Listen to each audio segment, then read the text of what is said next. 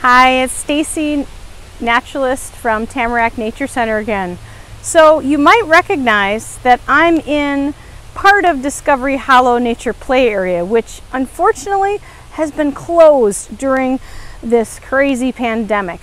Well, there's still part of it that still has construction going on with our stream, but for a special, special thing, we're going to be able to open just this logs and hollows area. This front portion that is fenced that has all these awesome fallen tree trunks and logs and sticks and other loose parts for you to come out if you can get here and create and play and balance and have some fun.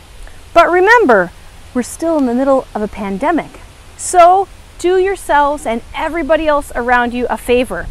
Bring a mask, and make sure that once you get here you check out how full is it. If it's super busy go do something else fun for a little while. Go go down the paved path and go hop around climb around on the squirrel logs.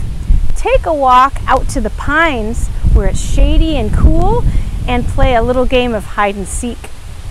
Or you can go out take a walk out to the lake on the dock sneak up there, see if you can see any turtles that are basking or what birds might be calling and singing around the pond like the red-winged blackbirds or maybe the swans are there.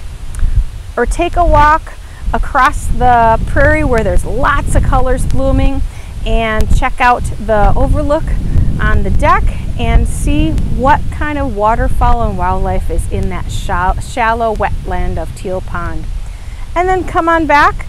Make sure you're giving each other some space as you play. Remember, at least six feet, so that's gonna be at least the wingspan of a grown-up. And have some fun. We've got um, some porta potties that are still available that are serviced uh, weekly, but make sure you bring some water and your creativity to have some fun and make some things and play with some of these loose parts. Take care and hope you're having a great summer.